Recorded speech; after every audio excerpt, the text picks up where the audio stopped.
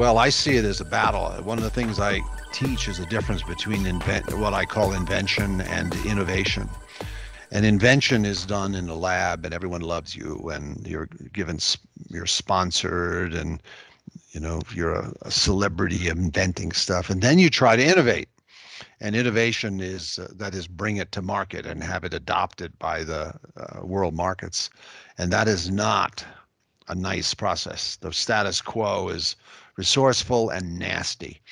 So getting Ethernet, uh, Ethernet won a, a, war. We call it the LAN wars, the local area networking wars that Ethernet eventually won, but it took 20, 30 years for Ethernet to win that battle.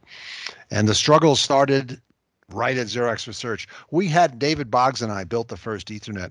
We hadn't even built it yet when a physicist at PARC sent a memo to my boss's boss saying that Ethernet, without, by the way, without talking with me, which means he was a physicist, he didn't understand people.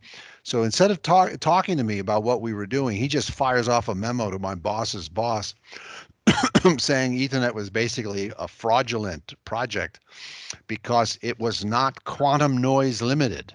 That is, that cable that we were sharing to send our packets was not draining every bit per second it could out of the cable.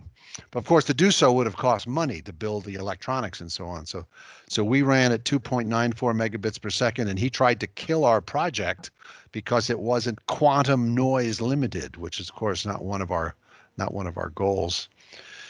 Uh, so that was just the beginning of the fights, and uh, you know it lasted during the uh, when we tried to standardize Ethernet, which we did through the IEEE starting in 1980. IBM and General Motors, two large two large companies, decided they didn't like the idea that Xerox would make a standard called Ethernet, so they developed their own alternatives. IBM introduced the IBM Token Ring, and General Motors introduced the General Motors Token Bus, and they both showed up at the IEEE to derail Ethernet, which was in the process of being standardized.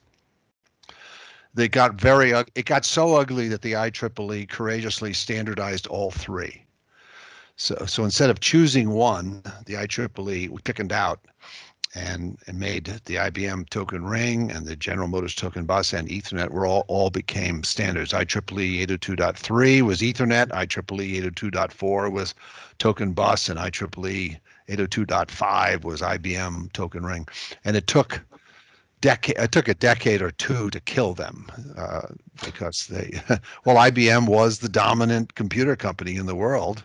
General Motors was General Motors. I remember telling the guy, hey, why don't you guys make cars and I'll make the networks?